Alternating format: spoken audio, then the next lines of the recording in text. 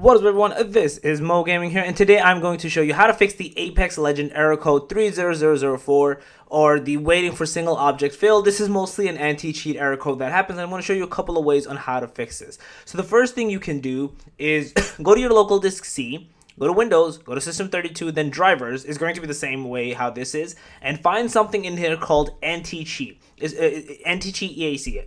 It's going to be in the first, obviously in the A section. I've already deleted it, so you basically right-click into it and then delete that specific file. It's going to be a .sys file. You want to basically delete that. If that doesn't fix your error for you, we're going to move on to the next step, which is going to right-click into the game. So this, in this specific example, um, Apex Legend, and we're going to do in the launch options, we're going to write dash no EAC, and we're going to basically let this save. This is going to run the game without the anti-cheat, essentially the easy anti-cheat, which should help bypass this error when you're possibly getting, and it'll ask you, say, ask when start a game. You want to do it like this. You want to do it like ask when start a game. It'll tell you, hey, which one do you want to launch? Uh, so you want to basically go down this route. And if this also does not fix, oh, I should have stayed in there. You go back into the same spot, properties, go to install file and do verify integrity of game files. A lot of times a file, one of the cheat files could be corrupted, which is why this is essentially happening and you want to basically let this run its course and you should be good to play the game once you do this. So yeah, that's basically it. If you guys like the video, please smash that like up. Guys, new channel, make sure to subscribe, click that notification bell. I'm going out. Peace.